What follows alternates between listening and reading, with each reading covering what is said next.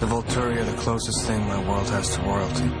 The Volturi are the oldest known coven of vampires in the Twilight universe.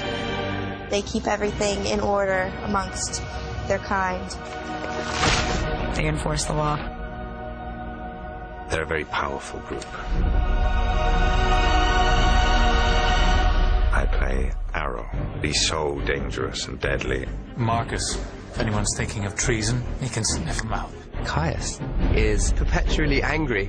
Aro, Caius, and Marcus are in charge. They've got their minions, Jane kind of being the foremost. Jane is the secret weapon. She looks kind of innocent, but really her power is pretty evil. Alec is one of the henchmen.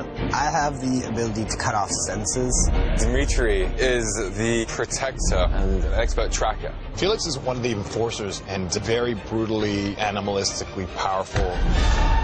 We run into some problems with them. No. A little bit of a fight does break out. Against a six foot seven vampire. He doesn't have a hope in hell of winning the fight. It's on much more of a grand scale than anything we did in Twilight. We're trying to rejig the style of the fighting on this show to give us something different.